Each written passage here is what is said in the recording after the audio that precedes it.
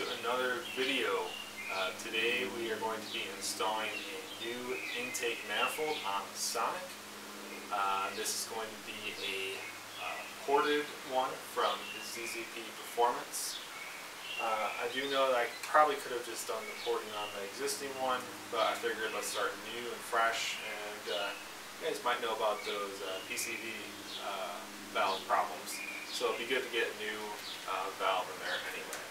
But today I'm going to be installing the new intake manifold and answering the question, is it worth it to get it?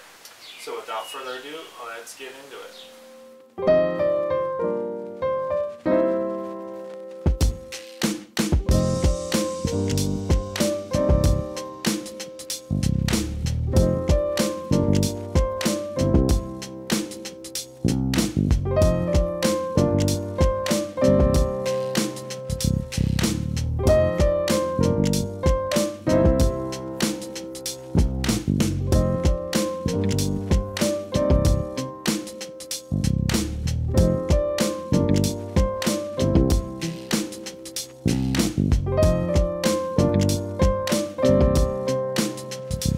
Uh, Alright, well, after a crazy long amount of time, you guys can go ahead and put in your guesses for how long that took me just, just to get that out. Um,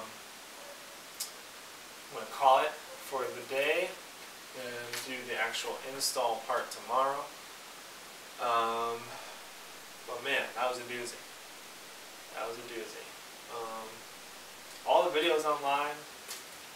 Uh, I don't. I honestly don't think any of them show it on a Sonic. Maybe they do, but um, much tighter on, on this car. Just getting that out of there and everything disconnected. But uh, yes, so install tomorrow, and it is tomorrow in three, two, one. All right, guys. It is day two install. Uh, hopefully we're going to knock this out quickly. Um, I already got the uh, little uh, connector on for the uh, boost gauge on there. Uh, I just put it into this um, little green um, tube here. Um, this also gets connected right here to the actual turbo. So that gives a good boost reading. And I got the sensor on there, so we are ready to put this in. So let's get to it.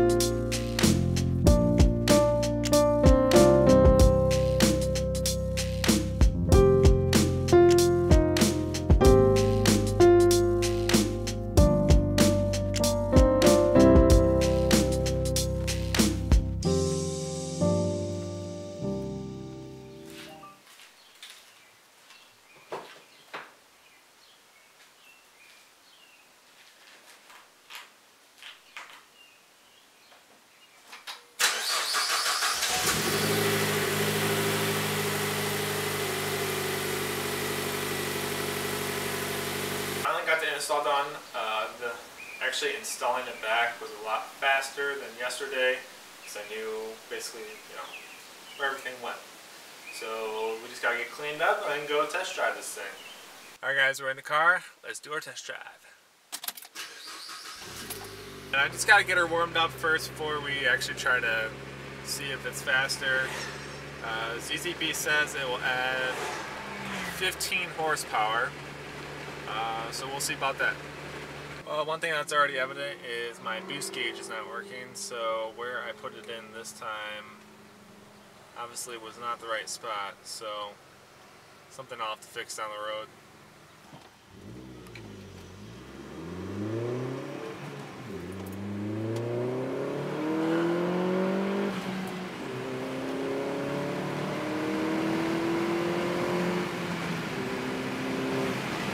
Alright.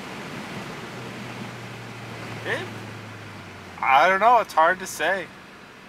I I feel like it's maybe a little bit smoother. I don't know. We'll see. That's uh, we'll see on this next round. 15 horsepower. I don't know if I, it might be able to fit. Maybe not. I don't know.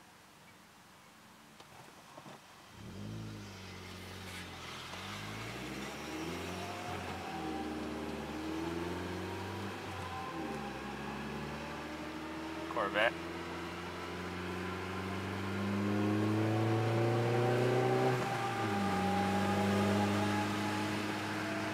Uh, got the weight.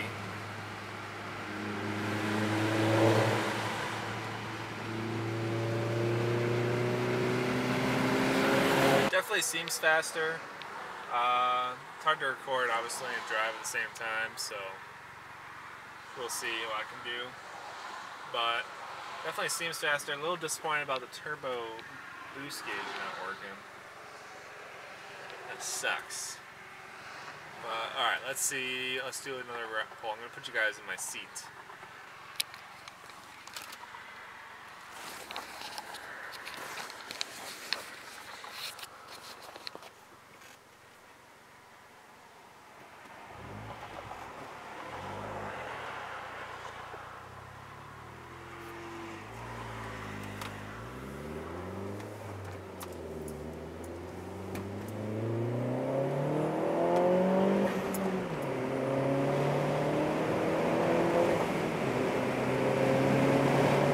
oh yeah, it's faster, alright.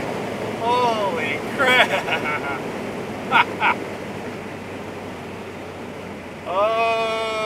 okay, yeah, I can feel it that time. Yeah, it's just like it opened up now. It's like it, it, that uh, that restrictive uh, thing that they did, man. Wow.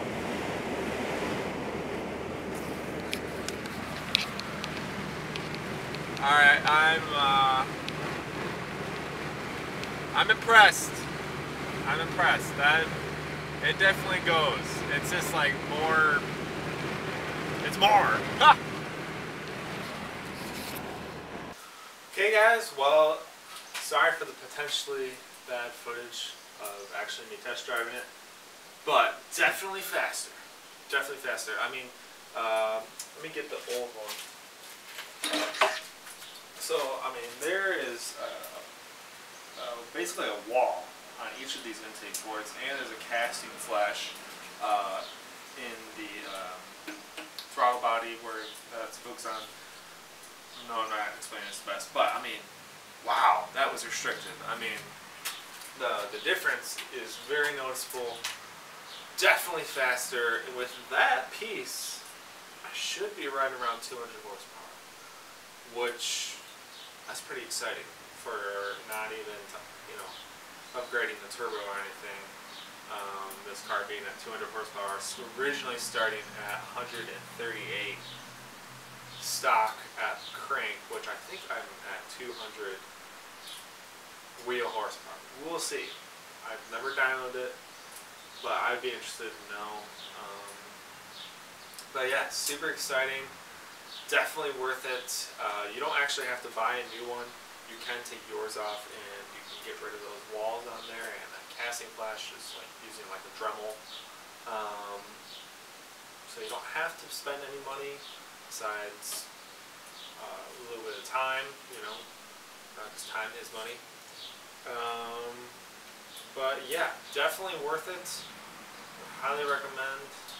Um, install wasn't terrible. Might be a little sore after though. Um, but yeah, so very cool, easy thing to do. That's can you can actually do for free too. Easy way to add 15 horsepower to your Chevy Sonic or your Cruze, whatever you got with the 1.4 liter.